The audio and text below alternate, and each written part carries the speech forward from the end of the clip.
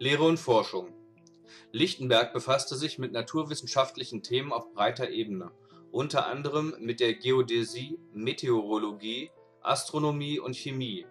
Als Lehrer war er wegweisend. Er hielt nicht trockene Vorlesungen im Stil der Zeit ab, sondern würzte sie mit praktischen Vorführungen. Mit Fliegenden Drachen führte er seinen Studenten die Gewitterelektrizität vor, mit gasgefüllten Schweinsblasen nahm er die Ballonfahrt vorweg. Als Forscher führte er, Benjamin Franklin folgend, in der Elektrizitätslehre die Begriffe positive und negative Elektrizität ein. Sein Geschick als Experimentalphysiker stellte er mit der Entwicklung eines 2,5 Quadratmeter großen Elektrophors unter Beweis. Mit dieser Influenzmaschine konnte er sehr hohe Spannungen erzeugen und Funken bis zu 40 Zentimeter Länge hervorrufen. 1777 entdeckte er auf dem Staub einer Isolierplatte des Elektrophors sternförmige Muster, die als Lichtenberg-Figuren bezeichnet werden er führte als erster den von Benjamin Franklin erfundenen Blitzableiter in Göttingen und als einer der ersten in Deutschland ein, indem er 1780 und 1794 seine Gartenhäuser mit einem solchen Furchtableiter, wie er ihn nannte, versah.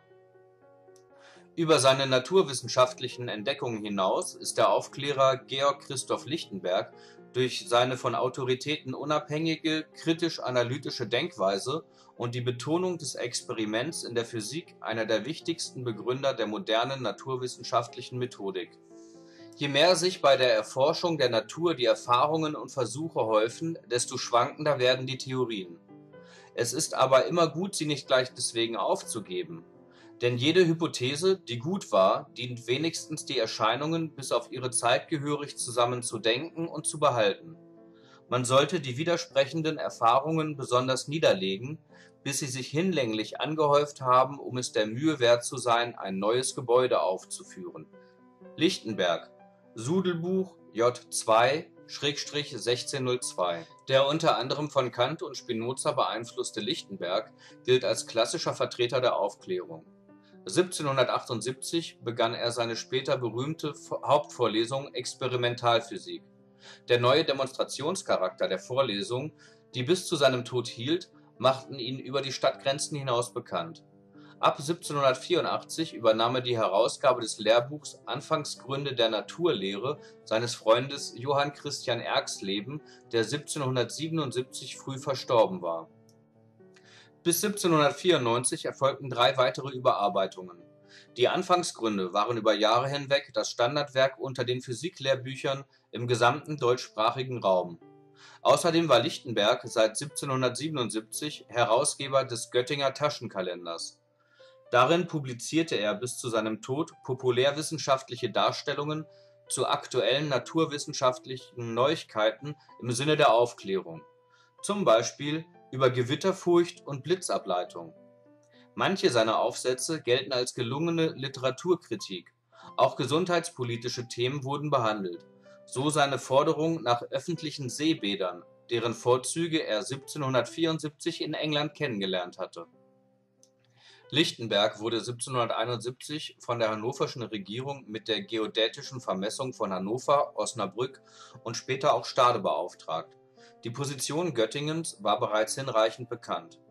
Die Vermessungsreisen dauerten vom Dezember 1771 bis zum September 1773 Zwischenzeitlich besuchte Lichtenberg Hamburg und Helgoland. Die Ergebnisse dieser seiner einzigen größeren, auf astronomischen Beobachtungen beruhenden Arbeit erschienen 1777. Der Vergleich von Lichtenbergs Werten mit den Messungen von Gauß, einem Hörer Lichtenbergs, und Schumacher aus der Mitte des 19. Jahrhunderts ergibt Abweichungen zwischen 7 und 15 Bogensekunden für die Breitenbestimmung sowie deutlich größere Differenzen in der Längenbestimmung mit 6 bis 60 Bogensekunden. Lichtenberg war in Fachkreisen in ganz Deutschland und Europa bekannt und geschätzt und stand mit vielen Gelehrten im Briefwechsel. Er war Mitglied in zahlreichen wissenschaftlichen Gesellschaften in Göttingen, St. Petersburg oder London. Lichtenberg regte 1793 Chladni zu dessen bahnbrechenden Theorien der Sternschnuppen, Feuerkugeln und Meteoriten an und förderte seine Schüler Benzenberg und Brandes bei ihrem Meteor-Beobachtungsprogramm. Bei seiner ärztlichen Kritik des Mesmerismus berief sich sein Schüler Hufeland auf „ meine gesunde Lichtenbergsche Physik “.